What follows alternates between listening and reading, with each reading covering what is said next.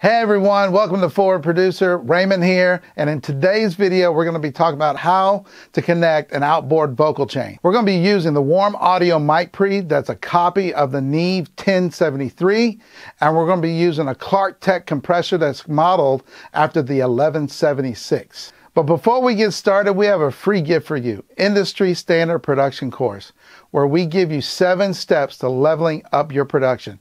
And it's free. So just go to forwardproducer.com slash ISP and download it.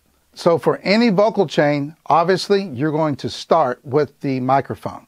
So here today, what we have is the Shure SM7B. Again, you can do, do this with any microphone. So come out of the microphone and then you go into the mic pre. This one happens to be the Warm Audio WA73.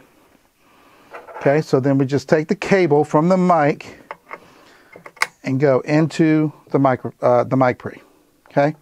Then obviously, then you'll come out of the mic pre. Bring the signal goes in and then it comes out. Then where do we want to go? To a compressor.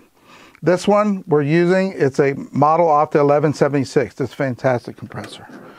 So then we go into, from the mic pre, you go, come out of the mic pre into the compressor and then come out of the compressor, right, into your interface. So everything's connected and we do have signal. So uh, what I just want to show you is, and most mic pre's are, are this way. Here's your input gain for your, uh, yeah, for your W73. And then this is the output. So a signal's coming out it's then going to come into the compressor, right? And this is the input gain for the compressor so you can bring more signal, so you can compress more signal. And then this is the output that's going to control what goes to the interface. And as you can see here, la la la la la, see that? That's coming in and it's all connected correctly. That's what you want. Check one, two, check one, two. This is microphone directly into the interface.